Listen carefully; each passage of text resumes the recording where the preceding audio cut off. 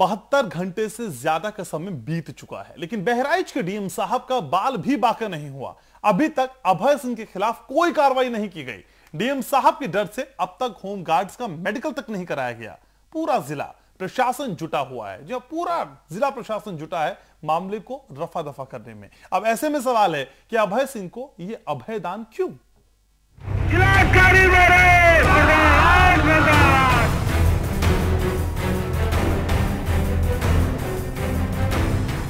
DM साहब की गुंडई से थर थर काँप रहा है पूरा बहराइच। किसी की क्या मजाल जो डीएम साहब के खिलाफ जाए। खिलाफ जाने का ख्याल भर भी उधड़ी चमड़ी और टूटी उंगलियों की याद दिला जाता है। अब इसे डीएम साहब का खौफ ही तो कहेंगे कि तीन दिन से टूटी उंगली और उधड़ी चमड़ी लेकर होमगार्डों को अस्पतालों का चक्कर लगाना पड़ रहा है। लेकिन उसकी सुध लेने वाला कोई नहीं। उनके जख्मों पर मरहम लगाने वाला कोई नहीं। मेडिकल के लिए अस्पताल की चौखट पर डटे हैं, लेकिन डीएम साहब के डर से मेडिकल तक नहीं हो पा रहा। डीएम साहब ने अपनी पूरी ताकत झोंक दी है, ताकि किसी तरह मामले को रफा दफ़ा कर दिया जाए। पूरा महकमा लगा है, जी जान से जुटा है, लगता है, जुगाड़ के माहिर खिलाड़ी अभय सिंह ने ठान लिया है। कि किसी भी कीमत पर मेडिकल होने ही नहीं देंगे। होमगार्डों को निपटाने के लिए खूब फ़ोन आ रहा है अभय सिंह। ऐसे में सवाल है कि सूबे के चौक चौराहों की सुरक्षा करने वाले होमगार्डों की कौन सुनेगा? हम सरकार को झुका झुका सकते हैं तो डीएम को सकते बताइए आप लोग। फिर एक वर्दी के साथ खिलवाड़ किया गया, वर्दी वालों के साथ खिलवाड़ किया गया, न कोई सिविलियन का आदमी है। और जब डीएम साहब अपने साथ लगे अंगरक्षकों के साथ इस तरह व्यवहार करेंगे तो फिर हमारे जनपद की पब्लिक का क्या होगा? होमगार्ड एकजुट है। अभय सिंह पर कार्रवाई करने की मांग हो रही है। धरना प्रदर्शन की कमिश्नर तक से बात थी लेकिन अभय सिंह का अब तक बाल भी बांका नहीं हुआ है। ऐसे में बड़ा सवाल है कि आखिर बहराइच के डीएम अभय सिंह को अभयदान क्यों? बहत्तर घंटों से ज़्यादा गुजर जाने के बाद भी अब तक कार्रवाई क्यों नहीं? खाल उधेड़ने वाले डीएम पर कब होगी कार्रवाई? Bureau report, Samachar Plus. और सभी खास मेहमान मेरे साथ जुड़े हुए आसिम वकार, समाजवादी पार्टी से। आसिम भाई, अपडेट के तौर पे पहले ये बता दीजिए कि इस पूरे मामले में अपडेट आपके पास क्या है? कोई कार्रवाई होगी, होने जा रही है, कोई बातचीत हो रही है? कोई खबर, सर? देखिए फ़िलहाल तो मेरे पास कोई नई अपडेट नहीं है जो मैं आपसे शेयर करूँ। दूसरी बात यह दुखद घटना है। डीएम को ऐसा नहीं होना चाहिए। मैं मजम्मत करता हूँ आपके चैनल पर। तीसरी बात होमगार्ड भी हमारे उत्तर प्रदेश की सुरक्षा का एक अहम हिस्सा है। और आपसे गुजारिश करना चाहता हूँ कि हमारे प्रदेश में जो होमगार्ड मंत्री हैं आपको मैं समझता हूँ कि उनकी एक बाइट लेना चाहिए थी। उनसे इस बारे में बात करना चाहिए थी। वो आपको ज़्यादा बेहतर बता पाते कि आगे क्या होना है और ये क्यों हुआ है। अच्छा। मेरे पास जैसे ही कोई अपडेट आएगी मैं एज सुन एज पॉसिबल जितनी जल्दी हो सके बहत्तर घंटे हो गए बहत्तर घंटे हो गए कार्रवाई के किसी तरह की कोई हलचल नहीं है सर किसी तरह की कोई हलचल नहीं कोई बातचीत नहीं कोई कॉन्वर्सेशन नहीं हो रही। बहत्तर घंटे सर बड़ा टाइम बीत गया और अब स्ट्राइक अगर हो गई तो फिर क्या? वो जाने की तैयारी में भी है असल में। सर मैं आपसे क्या कह रहा हूँ? हमारे प्रदेश में जो होमगार्ड मंत्री हैं आपको उनसे जाकर इसके बारे में बात करना चाहिए थी उनसे बाइट लेना चाहिए थी उनका पक्ष लेना चाहिए था उनके विभाग का मामला है और मेरे पास जैसे कोई अपडेट आएगी मैं आपके साथ मतलब एज ए स्पोक पर्सन मेरा वादा। समाजवादी पार्टी आपके पास कोई जानकारी नहीं है। ये मैं मानूं अभी फ़िलहाल। नहीं सर आप आप मेरे ऊपर यही अब यही कह रहे हैं ना सर आप मेरे पास कोई जानकारी। नहीं है ना। मैं समाजवादी पार्टी के प्रवक्ता बल्कि संजीदा प्रवक्ता से बात कर रहा हूँ ना। दो चार बौद्धिक लेवल पे ठीक ठाक है उनसे मैं उनमें से आप एक उनसे बात कर रहा हूँ मैं। तो मैं मानू आपके पास कोई जानकारी नहीं है। सर मैं सर बात तो मेरी पूरी आ जाने दीजिए। अगर आप मिसाइल लेकर हमले के मूड में हैं तो मेरी बात आप समझ नहीं पाएँगे। थोड़ा ठंडा करिए दिमाग को एक गिलास पानी आप- पीजिए ठीक फिर है। मेरी बात को आप हर बात तो सर मैं आप ही के हिसाब से समझ जाए तो फिर तो काम हो गया सर। आप ही के हिसाब से सारी चीज़ें चल जाएँगी तो फिर तो बहुत कुछ और चीज़ें बदल नहीं, वो जाएँगी। मुमकिन नहीं है मुमकिन नहीं है। हमारे आपके दोनों के दिमाग अलहदा अलहदा हाँ, है। भी नहीं पाएगा, सर। अलग तरीके अभी ठीक है, सर। तरीके से आसिम भाई से कहिए कि ये आपकी definition हो सकती है, आसिम भाई, लेकिन चीज़ें जब- न्यूज़ चैनल को सलाह दें। पहले अपनी पार्टी को अपने हिसाब से चलाएँ। हम्म, ठीक है। एक तरफ़ अंशु जी अंशु जी लेकिन बहत्तर घंटे बाद भी अगर कोई कार्रवाई नहीं हो रही और ये कहा जा रहा है कि होमगार्ड मंत्री साहब बात कर लीजिए। तो ये माना जाए कि संजीदगी में है शर्मनाक सरकार संजीदा है इस मामले को लेके। कितनी शर्मनाक स्थिति है घनश्याम जी कि बहत्तर घंटे हो गए हैं लखनऊ से 100 किलोमीटर दूर की घटना है। और दो दिन से लगातार सारे समाचार पत्रों में छप रहा है इलेक्ट्रॉनिक मीडिया में भी दिखाया जा रहा है। अभी तक इस पे कोई भी एक्शन नहीं आया। चलिए ठीक है अतीक अहमद को शिवपाल जी ने प्रत्याशी बनाया था उन पे एक्शन नहीं ले पा रहे कोई बात नहीं प्रदेश अध्यक्ष नहीं है अखिलेश यादव जी। अरे डीएम तो उनके अंडर में है वो मुख्यमंत्री हैं डीएम तो उनके अंतर्गत आता है उसी पे एक्शन करके दिखा देते। क्या सिर्फ़ विकास पे ही चुनाव लड़ेंगे? पूरा प्रदेश जो है चौपट हुआ जा रहा है। पूरी तरह से जो लॉ एंड ऑर्डर है पूरा आप देखिए अभी मैनपुरी में कुछ लोगों ने दौड़ा दौड़ा के पीटा उस महिला को। कितनी दुखद बात है। आसिम साहब इससे पहले भी एक हमारी डिबेट में थे आपके चैनल पे। उस वाली घटना में भी इन्होंने मजम्मत कर ली। काम खत्म क्या इनकी मजम्मत से काम चल जाएगा। क्या कोई कार्रवाई नहीं होनी चाहिए? बहुत ही शर्मनाक है। है। ऐसे प्रशासनिक अधिकारियों निंदा को कर देना काफ़ी है वो भी ऐसे मौके में जब वाकई अलार्मिंग टाइम इलेक्शन अधिकारियों पे सख्त से सख्त काम हो जाएगा। कार्रवाई होनी सिंह साहब। चाहिए। जी जहाँ तक सवाल है होम गार्ड के पिटने का तो हर जिलाधिकारी की एक अपनी व्यवस्था होती है। यदि होम गार्ड से कोई गलतियाँ हुई हैं तो उसको वो सरकारी और अपने विशेषाधिकार के तहत वो लिखत पढ़त में कोई कार्रवाई करते। वो समाज का प्रथम सुरक्षा की दृष्टि से देखा जाए तो प्रथम प्रहरी है। और कार्रवाई ना होना जिलाधिकारी के ऊपर, ये तो अब असीम साहब ही अभी कुछ बता देंगे नेताजी से सलाह मशविरा करके ही कुछ हो सकता है। हम्म, रामेश्वर पांडे जी सर क्या मजबूरी समझ में आती है आपको? इतना बड़ा समय बीत गया इतनी बड़ी घटना लेकिन किसी तरह की कोई कार्रवाई नहीं। यहाँ पे भी क्या इतनी बड़ी मजबूरी है जो अतीक अहमद के लेवल में हम देख पा रहे हैं? यहाँ तो कार्रवाई हो सकती थी कोई संदेश दिया जा सकता था? देखिए ये- ये अतीक अहमद के मामले से इस मामले की तुलना नहीं की जा सकती। मैं दो तीन बातें कहना चाहता हूँ। पहली बात कि जिलाधिकारी एक पढ़ा लिखा आदमी तो है जिला का प्रशासनिक अधिकारी होता है और सबका संरक्षक भी माना जाता है। अपने ही यहाँ के होम गार्ड को जिस तरह किसी भी सभ्य आदमी का किसी व्यक्ति के पर हाथ उठाना हमेशा निंदनीय होता है सामाजिक दृष्टि से नैतिक दृष्टि से। कानूनी दृष्टि से अगर कानून का ही रखवाला कानून अपने हाथ में लेता है तो ये कानूनी दृष्टि से गलत है। तीसरा चुनाव का दौर चल रहा है और होम गार्ड ये ये सरकार भी जानती है और वकार साहब भी जानते हैं कि जिलाधिकारी हो सकता है चुनाव में निजी शख्सियत से कोई बड़ी भूमिका निभा दे आमतौर पर निभाते हैं। लेकिन होम गार्ड की संख्या उत्तर प्रदेश में मामूली नहीं है। और जिन होम गार्डों के लिए तमाम तरह की कोशिशें इन सरकार ने की है ताकि उनका समर्थन भी सरकार को मिले। तो चुनावी नज़रिए से भी रणनीतिक ढंग से सरकार के खिलाफ ये बात जा रही है।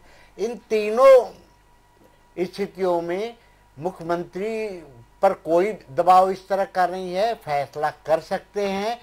अब नहीं किया तो मैं नहीं मानता कोई बहत्तर घंटे में नहीं हुआ है तो नहीं होगा। मुझे लगता है कि मुख्यमंत्री अखिलेश यादव जी एक संवेदनशील आदमी है ज़रूर इस पर पांडे साहब बहत्तर घंटे में नहीं हुआ अगर आगे फैसला होगा तो फजीहत होने का इंतज़ार क्यों सर? मैं ये भी तो है हाँ, फजीहत हो जाए सब हाँ, बवाल हो जाए। नहीं नहीं इस सरकार में कुछ अगर उचित फैसले भी हुए हैं तो बड़ी फजीहत के बाद हुए हैं। तो फजीहत तत्काल फैसला तो मैंने देखा ही नहीं पिछले चार साढ़े चार साल में। कुछ फैसले हुए हैं लेकिन फजीहत होने के बाद ये फैसला हो तो भी नुकसान होता है। मेरा आग्रह यही है कि फजीहत होने के बाद और होमगार्डों की नाराज़गी प्रदेश स्तर पर बढ़ जाए अभी पूरा जिला आंदोलित ठीक बात।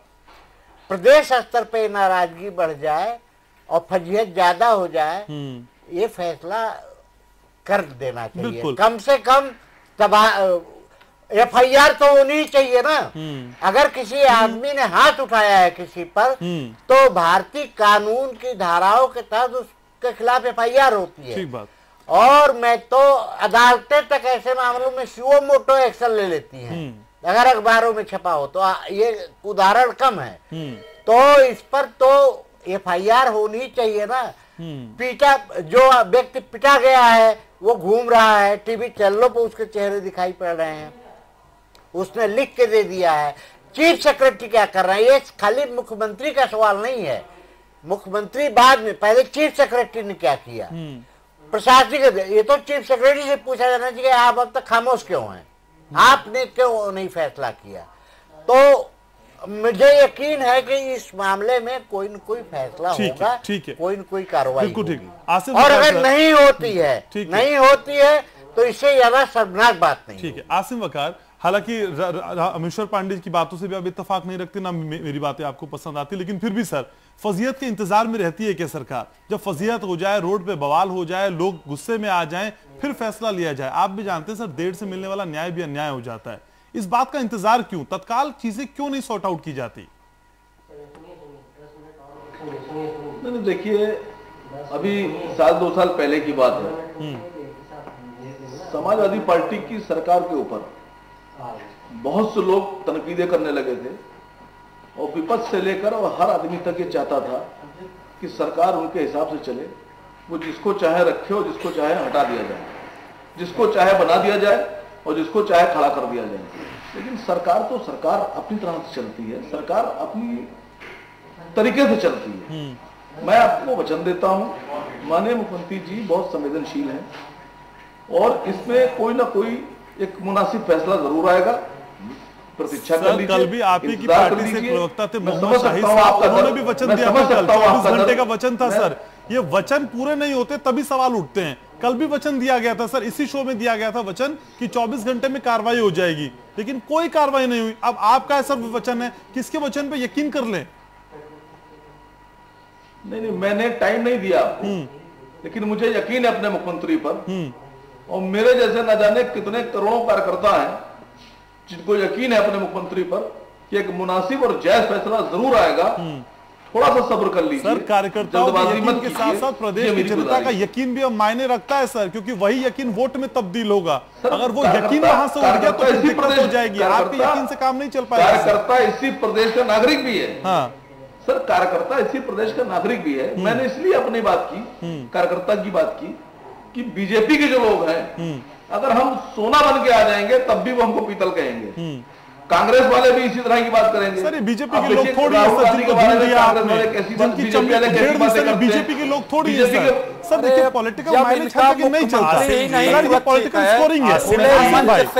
छीन लिया जा रहा है ये बीजेपी की बात थोड़ी है सर होमगार्ड स्पीड दिया आपकी डीएम ने। क्या बात करते हैं? कोई हरकत की है और उस पे आप हमारी पूरी पार्टी पे दोष दे रहे। हैं सर बात पूरी हो जाने मंत्री जी को कम से कम इतना तो अधिकार है। कांग्रेस पे आप बोले अच्छी बात है समाजवादी पार्टी और कांग्रेस का भाई भाई नियंत्रित करें। बड़े भाई कांग्रेस छोटे भाई समाजवादी पार्टी भारतीय जनता पार्टी के ऊपर कहा से आप बोल रहे हैं?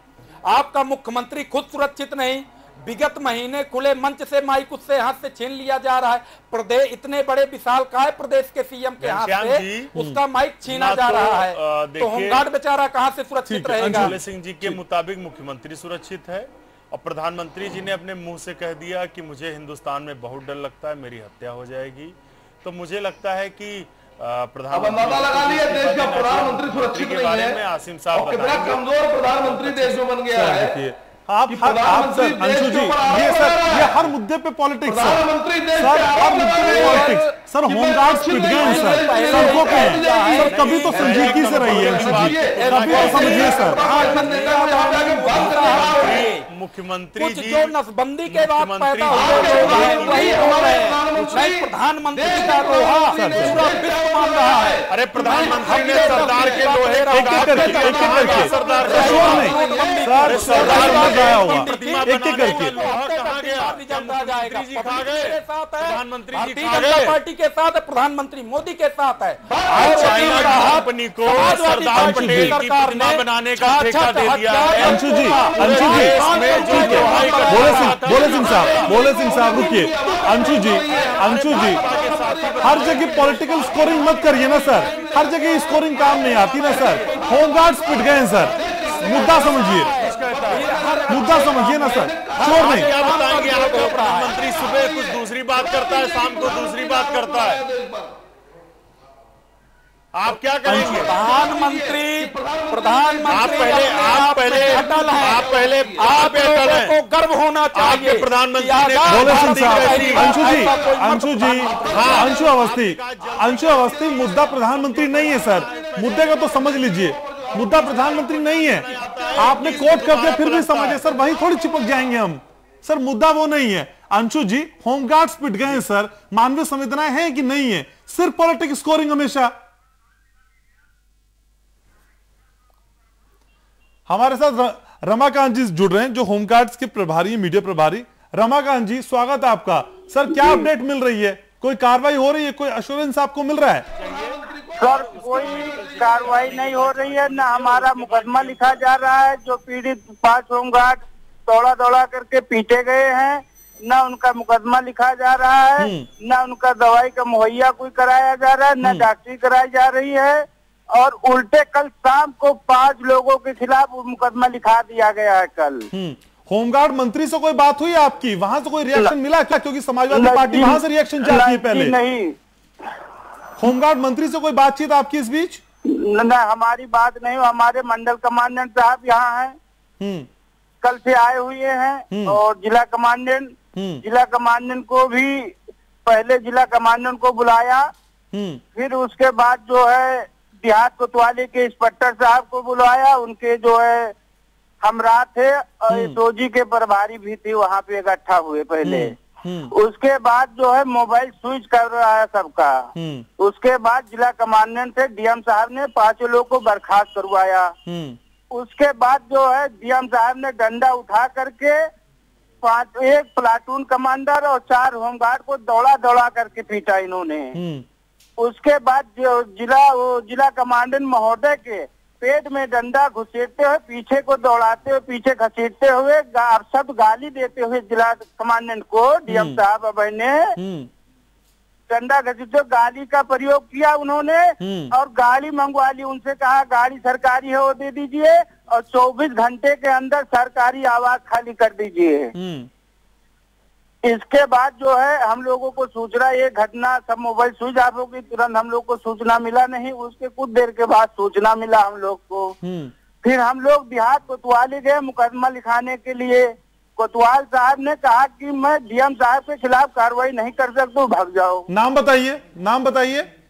कोतवाल साहब का सर। हम्म।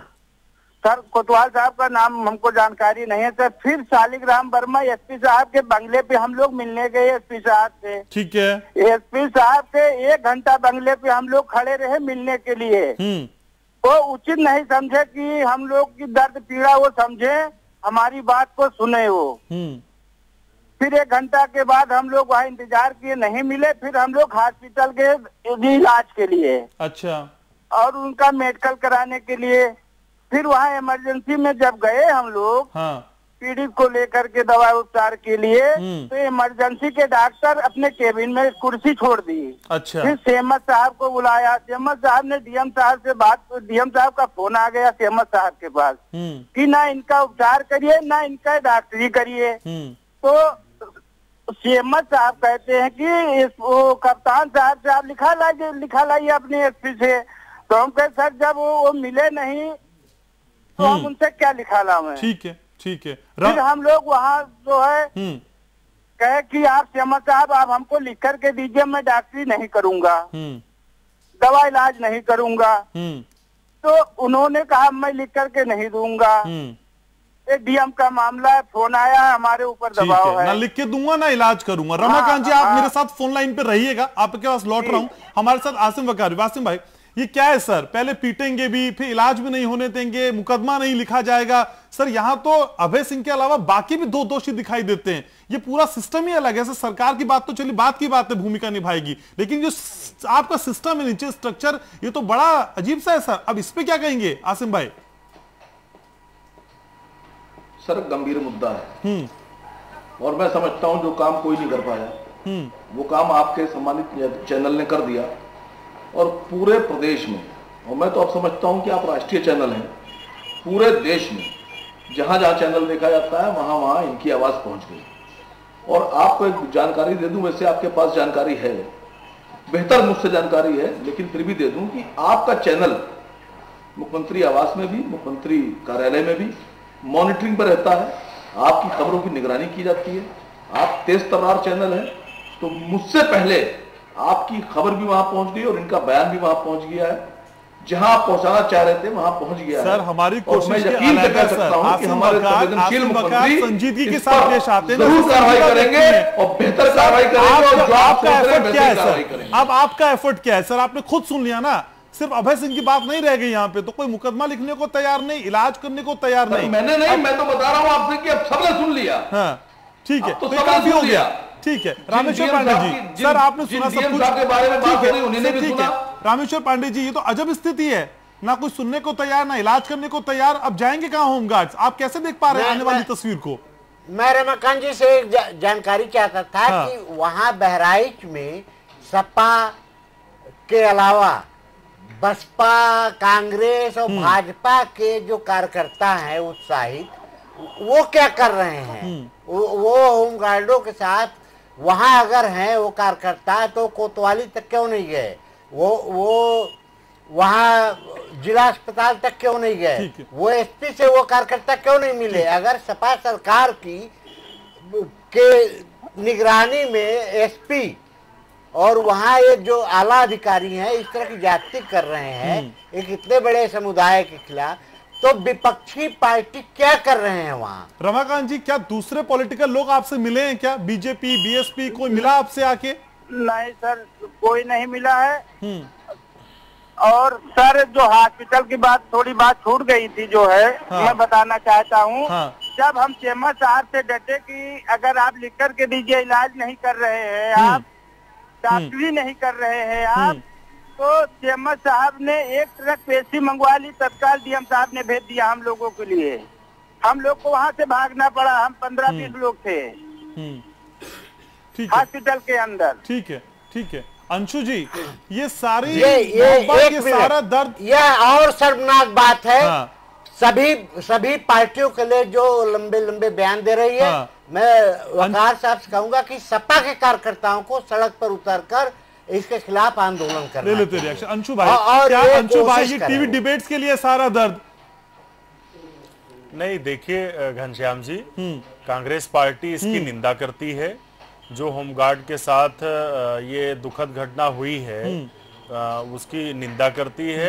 और सर, सरकार के काम नहीं होता ना सड़क तो सरकार के द्वारा अगर तो, कोई भी जल्द कार्रवाई न की इतनी बड़ी तादाद नहीं दिखाई देती है क्या सर क्यों नहीं जाते इनके साथ? नहीं, नहीं बिल्कुल नहीं ऐसा कुछ नहीं घनश्याम जी। क्या? बोले सिर्फ़ तादाद के लिए नहीं नहीं कांग्रेस पार्टी तादाद के लिए राजनीति नहीं करती।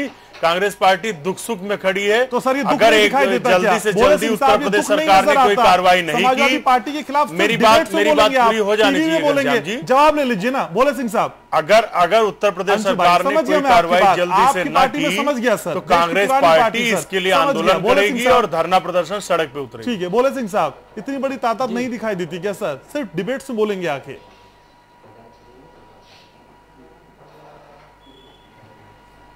नहीं सुन पा रहे आप मुझको? बोले सिंह साहब।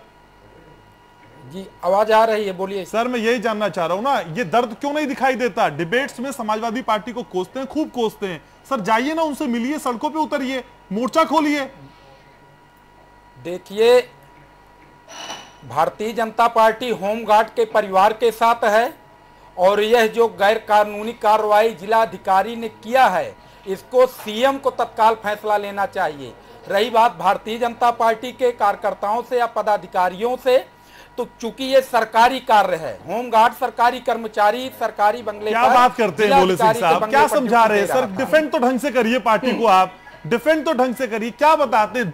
इसमें दुख सुख में भी लोगों को बांट देंगे आप। ये अधिकारी हैं ये सरकारी हैं ये प्राइवेट है। काम ही है बांटना। सबका साथ सबका विकास करते फिरते सर आपको जनता पार्टी का काम ही बांटना है। सीएम को कार्रवाई करनी चाहिए। आप नहीं उतरेंगे सड़कों पे? भारतीय जनता पार्टी आप नहीं उतरेंगे? होमगार्ड के परिवार के साथ है। मैं पहले ही बोल चुका हूँ सर कि टीवी डिबेट में साथ मत पार्टी होइए ना। आप मिलते क्यों नहीं जाके? सरकारी कर्मचारी हैं आप नहीं जाएँगे मिलने के लिए। सीएम कार्रवाई करें। वो तो करें ना करें उन पे सवाल है ही है। आप क्यों नहीं उठ रहे सर? कोई और हिंदू मुस्लिम का मुद्दा होगा तो आ जाते के सड़क पे। हमारी पार्टी के लोग संस्कारिक कार्यकर्ता होमगार्ड सर, से ये संस्कार सिर्फ़ धर्मों में मत बांटिए ना सर, लोगों को भी समझिए। से मिले होंगे अभी मंदिर की बात कोई कर दे डेढ़ नब्बे मिनट का नमाज़ के लिए ब्रेक दे दिया था कांग्रेस ने आप में बवाल हो गया था। सर ये मुद्दे भी तो समझिए ना सिर्फ़ मत कोसिए। कोसने से काम नहीं चलेगा भोले सिंह साहब। अब जाएँगे आपके लोगों से मुलाकात होगी कि नहीं होगी?